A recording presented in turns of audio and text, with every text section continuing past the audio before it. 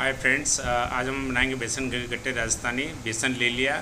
बेसन में कुटा हुआ धनिया सौंफ जीरा अजवाइन धनिया हल्दी न, मिर्च नमक कुकिंग सोडा मस्टर्ड ऑयल और दही डाल के इसका डो लगा लेंगे। डो लगाने के बाद हम इसको रेस्ट देंगे। रेस्ट करने के बाद रोल करके ऐसे बाई साइड पानी चढ़ा देंगे बॉलिंग के लिए। बॉलिंग पानी में ये डाल देंगे और ब्लांच कर लेंगे।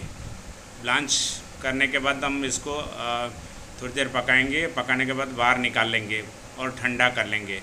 ठंडा करने के बाद हम इसे काट लेंगे और ऑयल में डीप फ्राई करेंगे। तो ये हमने देखिए बेसन के गट्टे कितने फूले हुए और काट के हम इसको ऑयल में फ्राई कर लेंगे। फ्राई करने के बाद हम इसको बाहर निकाल लेंगे फिर इसकी बाई साइड हम टेम्परिंग मारेंगे। तो करी बनाने के लिए हमने उसी बेसन के जो पानी है उसमें मसाला बनाएँगे।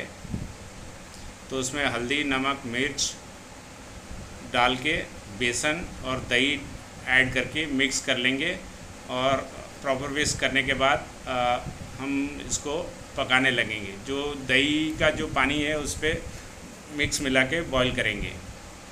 तो ये एक बेस कड़ी हो जाएगी सिवाई साइड हम टेम्परिंग करेंगे पैन में घी लेंगे लाल मिर्च, हींग, जीरा, कूटा हुआ धनिया, लहसुन, प्याज, अदरक